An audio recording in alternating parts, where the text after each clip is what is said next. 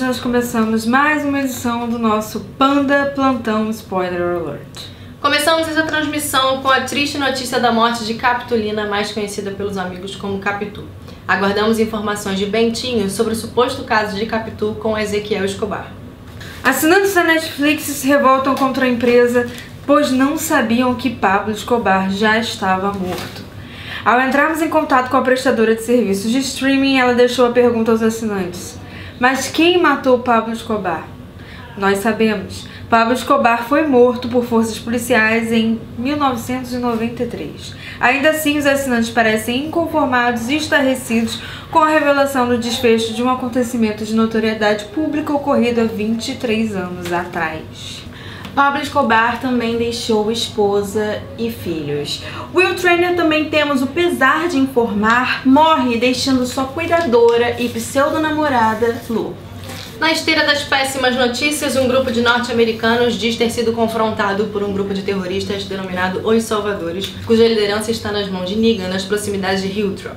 Duas mortes foram registradas, Glenn Rand e Abraham Ford. Rand deixa a esposa grávida do primeiro e último filho do casal. Apesar de todas estas notícias, um raio de esperança. Temos duas ressurreições confirmadas. Harry Potter morto em confronto com o Mestre das Trevas, Lord Voldemort, voltou à vida. O mesmo aconteceu com Jon Snow, que depois de ser atacado por seus companheiros da Guarda da Noite, ressuscitou pelas mãos de Melisandre. O professor e ex-diretor de Hogwarts, Alvo Dumbledore, no entanto, permanece morto até onde nossas fontes puderam confirmar. Em coletiva sobre o caso, Jon Snow afirmou que permanece sem saber nada. Ainda sobre eventos sobrenaturais, um menino de 8 anos afirma ver pessoas mortas o tempo todo. Pesquisas revelam que isso é um fenômeno comum. Os telespectadores de Lost fizeram o mesmo durante seis temporadas. É também conhecido o fato de que Norman Bates via sua mãe durante todo o enrolar de psicose, mesmo que ela já estivesse morta desde o começo do filme. O mundo ficou chocado ao descobrir que o detetive Leonardo DiCaprio, que investigava o desaparecimento de uma paciente em uma clínica na Ilha do Medo era, na verdade, ele mesmo um paciente internado na ilha depois de assassinar a esposa em decorrente do assassinato dos próprios filhos. Quem nos contou isso em primeira mão foi o psiquiatra Mark Ruffalo, que trabalhava na clínica na época. Ruffalo ficou conhecido depois de ser exposto aos raios gama, que teve como consequência o fato de ele ficar verde do nada e sair quebrando absolutamente tudo que vê pela frente. Agora, a nossa agenda política.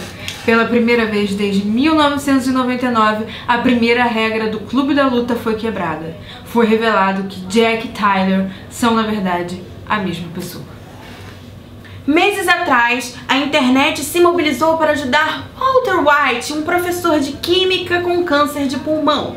Infelizmente, White veio a falecer e não foi de câncer. O homem estava envolvido com o tráfico de metafetamina azul, como forma de custear o seu tratamento e garantir o futuro da família. O governo se pronunciou dizendo não poder ceder às manifestações ao aumento salarial dos professores. No Congresso Nacional, o assunto é o vazamento de informações envolvendo o golpista Renan Calheiros e o golpista presidente Desculpa. No Congresso Nacional, o, o assunto é o vazamento envolvendo Jacqueline Sharp e o golpe orquestrado pelo presidente Francis Underwood. E agora nós vamos direto com a nossa correspondente no Distrito 12. Cláudia? Polêmica. Aqui no Distrito 12 o assunto é a separação de Katniss Everdeen e Gale Hawthorne. A campeã da 74 edição dos Jogos Vorazes e o Operário anunciaram em coletiva hoje à tarde. Aparentemente, Katniss gosta de seu pão quentinho. Em efeito dominó, fontes seguras confirmaram as separações de Fátima Bernardes e William Bonner e Brad Pitt e Angelina Jolie. Estes casais também anunciaram o fim da união. Nós pedimos desculpa porque infelizmente tivemos um problema com a imagem. E agora uma história de superação. Há 14 anos atrás, Kleber Bambam venceu o BBB1 acompanhado de sua boneca Maria Eugênia.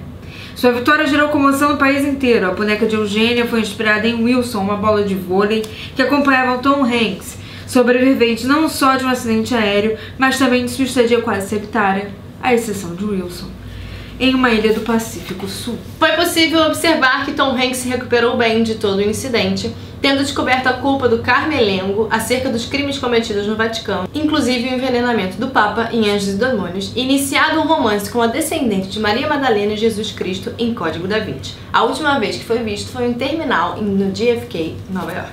Jesus Cristo, infelizmente, logo depois de impedir o apedrejamento de Maria Madalena, morre, como nos foi informado ao ler a Bíblia.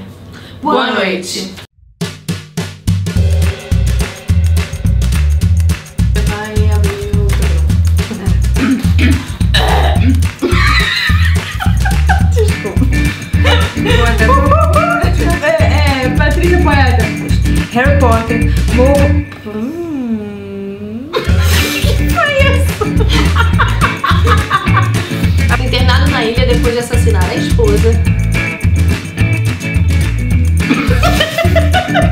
duas conversas